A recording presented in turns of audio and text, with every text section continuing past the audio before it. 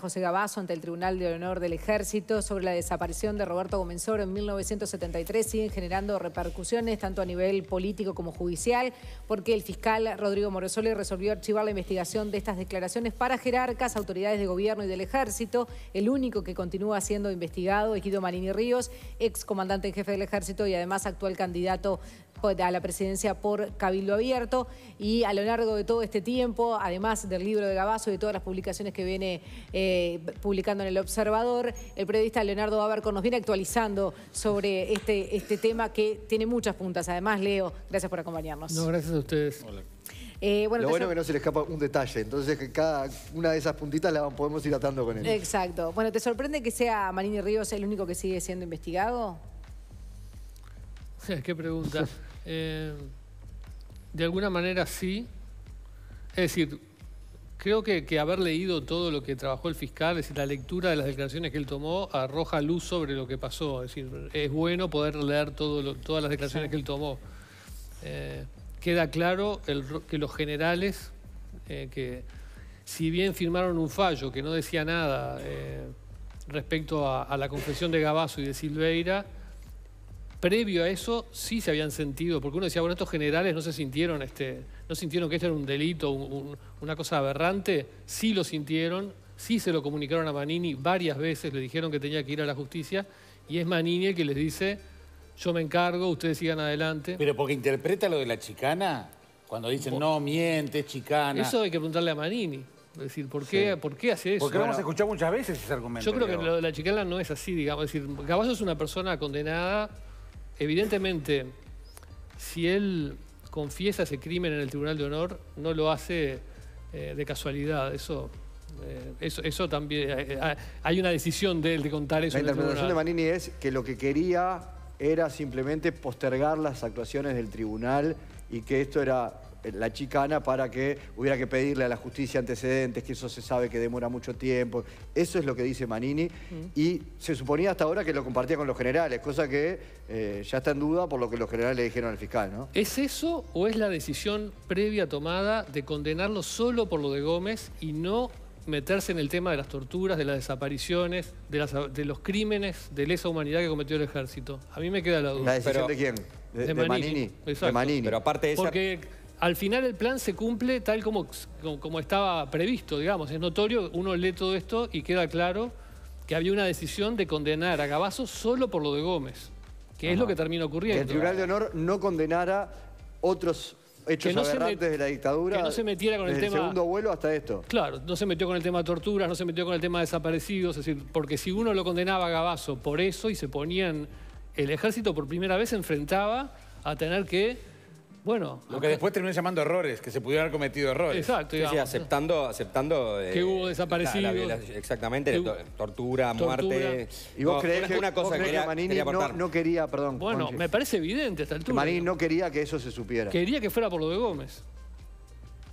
Es un para procedimiento rápido. El ejército en este momento, para, para que no el ejército no tuviera esa, esa mancha, ese reconocimiento. Y bueno, porque digo para un comandante del ejército asumir esos temas requiere una decisión política, requiere eh, eh, un don de, mando sobre todo del ejército, no sé, requiere también, no sé, no lo hizo. Para mí la cuestión estaba ahí, servido para hacerlo. Una cosa que, que, desarma, si se quiere, ese argumento que planteaba Juan Miguel, que Manini expuso, de decir, en realidad esto podría ser una chicana de, de Gabazo, entonces este como ha hecho en otros momentos, y hay que mejor dejar avanzar los tribunales de honor, y, si mandamos la denuncia a la justicia se van a parar. Bueno, el observador publicó que no necesariamente, pues se puede hacer la denuncia en la justicia y que se siga el tribunal de honor, en paralelo al mismo tiempo. o sea que eso no sería, no hubiera sido un problema y en tal caso no es una, una excusa como para no hacer esa denuncia ante la justicia yo, si me queda, para mí está planteado ese tema. No, porque además Manini muchas veces ha dicho, eh, porque nosotros queríamos que el tribunal siguiera actuando para eh, condenarlo, para sancionarlo, cosa que pasó y omite que pasó no por nada de esto, sino como vos decías, ¿no? por un, hecho menor.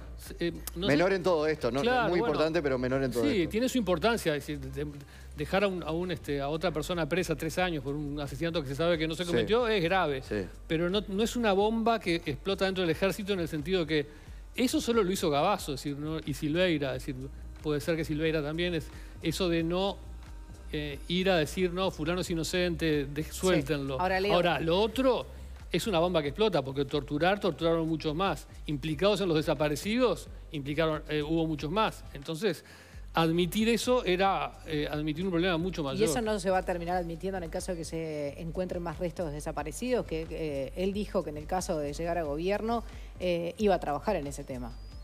Sí, no lo dudo, es decir, eh, lo- ha dicho muchas veces, este, no tengo por qué dudarlo, no tengo por qué dudarlo. digo, ese- Habrá habido un Digo, cambio. pero ahí va a saltar todo lo que supuestamente quiso Es proteger. que se ha ido saltando, ¿no? Por ejemplo, cuando apareció el, el cuerpo de Julio Castro que fue ejecutado, ahí se derrumbó también una de las grandes este, eh, explicaciones del ejército, de las Fuerzas Armadas, que era, bueno, los que murieron fueron porque hubo este, excesos en la tortura o en los interrogatorios. Bueno, ya apareció un, un- un desaparecido, apareció ejecutado. ¿Habrá habido algún cálculo político electoral de, de Manini que en ese momento ya aspiraba a ser, a ser candidato? Digo, son ser. especulaciones todas posibles. Son todas posibles.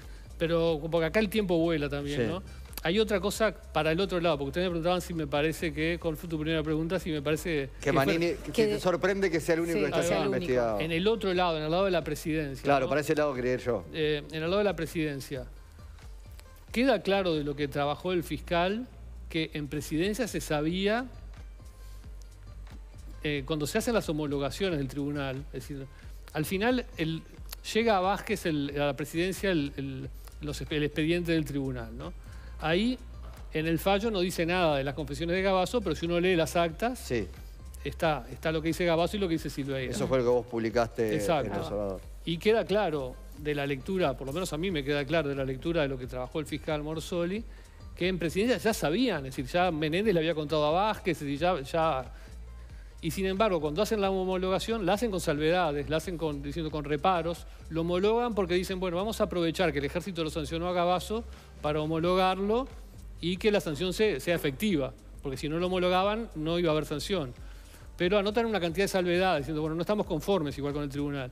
Pero esas salvedades refieren todas al tema del segundo vuelo. Y a las críticas que hace a la justicia y a, la las diferencias que, que la justicia sí ha, ha con- Exacto, considerado pero que no se pone una línea, una línea del Nada, tema de. Gomenzoro, Gabazo, que tiene un cuerpo al río.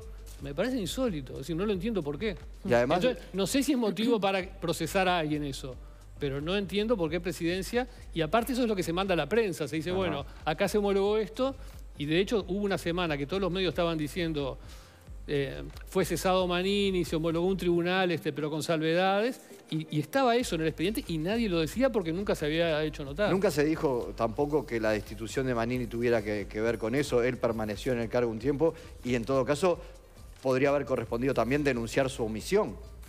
Si él estuvo omiso todos esos meses y el ministro se entera, Bueno, se lo echa por, se entera. por el, por el, por el, por el, el- no sé cómo decirlo, el escrito que él adjunta Claro. al tribunal. pero no En por, las no, ocho no por la omisión. Las ocho carillas críticas a la justicia. No por la omisión por la que después sí se destituye a, Exacto. a los generales bueno. y al ministro, al propio ministro. En el dictamen del fiscal dice que Menéndez, ¿no?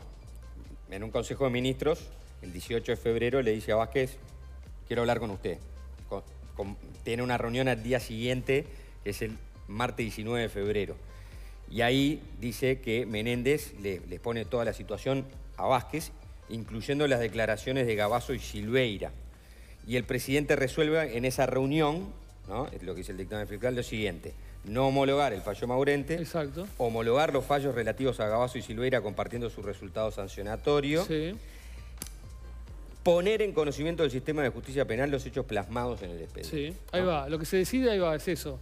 Homologar con reservas, aprovechando que hay una sanción y, y queriendo que se ejecute esa sanción. Avisarle a la justicia, pero en, en el- en la homologación no ponen una línea de todo esto. La gente Ajá. no se entera. Claro. Y es muy raro. Sí. Es muy raro. Y esto es el 19 de febrero Sí. y vos publicás la nota el 30 de marzo. Exacto. Y bueno, y en el medio la denuncia nunca llega a la justicia. Y en el medio de la denuncia nunca llega a la ¿Qué, justicia. qué- explicación tendría eso? O No sea, lo sé. que te parece raro. Si le buscas cierta razonabilidad en el hecho de decir, bueno, esto es un tema muy serio, primero. No, la verdad no tengo una Sí. explicación, ¿Eh? realmente. No tengo una explicación. Porque en realidad, ¿qué es lo que está pasando hoy en día? Aparte que hicieron una El- cosa sí. también, que, que si bien le, le caímos a Manini con, con Sí. eso que dijimos, es verdad que Manini entrega todo al ministerio y ahí es que se enteran porque lo leen. Es decir, tampoco, Exacto. Eh, Manini no hay- ha dicho, yo le podría, le podría haber arrancado un par de hojas. eso Era un que- delito, pero bueno. Claro, eso hay que decirlo también. Es decir, él entrega todo ahí, si bien nunca...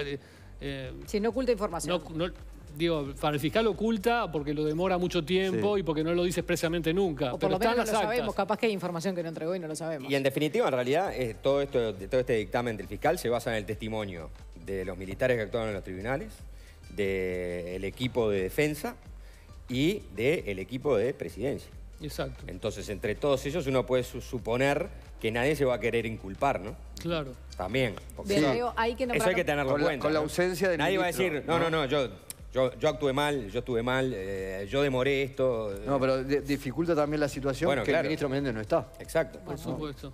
Por supuesto. Leo, ahí ahora hablamos de presidencia y hablando de toma, justamente publicaste el fin de semana una nota en El Observador eh, donde hablas con Soledad Dosetti, eh, hija de desaparecidos, donde ella habla que hasta ahora es un tema simbólico el tema de los desaparecidos, que no se ha logrado mucho, y, pero sobre todo de, todo este periplo que ha hecho con este abogado italiano Fabio Galliani, que es despedido finalmente por, el gobierno uruguayo, que ella no lo termina de entender, porque es la persona que siguió todos los casos de cerca, que sabe todo, pero donde se trabó también cuando quiso citar militares. Y ella ahí habla de Guiance, con quien ya has tenido cruces eh, por Twitter, y de Toma. Que, co- co- contá ahí qué es lo que pasa, qué es lo que te dice Soledad.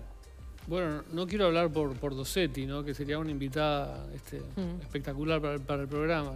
Eh, lo, que, lo que ha dicho Galeani, y, y Dossetti lo reafirma ahora, pero en realidad el que lo ha dicho primero es el propio Galeani, es que él quiso citar militares en, en el juicio del Plan Cóndor en Roma, que hubiera testigos militares, sobre todo varios militares que en algún momento han, han querido, este, dos tipos de militares, algunos que han querido dar datos sobre desaparecidos y otros que, aparecen este, implicados en, en denuncias y que él quería que fueran a testificar, que fueran llamados. Y que en el, lo que dice Galeani, que ahora dijo Dossetti, es que en la Cancillería se dijo que no, que el gobierno uruguayo en ese juicio no iba a facilitar, que no se quería este, citar militares, que era una opinión al parecer compartida por Guiance y por la presidencia. Y de hecho no hubo este, testigos militares, es decir, de hecho no hubo testigos militares. Y hay un testigo que quería citar Galeani, que es un ex soldado llamado, él dice que es un ex alférez de reserva, llamado Pintado Otero de apellido, ¿Qué le había dicho? que al, ¿Cómo al había parecer habría, habría dado los datos eh, que permitieron eh, encontrar a Fernando Miral, a Fernando Miranda, al padre Javier Miranda. Y que, Que se, tendría información de los padres de Soledad también. Y que te- ese- esa persona en los años, al fin de los años 90, en una entrevista a la República, había dicho este, que sabía dónde estaba el padre de Soledad Ossetti. Y bueno, quiere que le reparen la carrera. Yo he hablado en estos días con él. Este, él, quiere que le- él dice que tiene información, pero que a él lo han, este, le han este, Postergado. no, lo han Carrera. echado del ejército, le han negado la jubilación. Entonces, que para hablar quiere que le reparen su carrera militar, lo que implica una cantidad de dinero que se le debería, según él. Y bueno, pero ese, ese- esa persona, Galeani lo tenía palabrado para llevarlo a Roma y que testificara, y no hubo interés de Uruguay de que, de que se presentara. Bien, ella ah, igual había presentado también todo en la Comisión para la Paz y no había llegado a nada. Exacto. Bien. Cri- bastante crítica lo que decías. Bueno, si la podemos conseguir, la tendremos por aquí también con su palabra. Leo, muchísimas gracias por No, gracias a acompañarnos. ustedes. Gracias a ustedes. Tenemos que actualizar hasta ahora los datos del tiempo.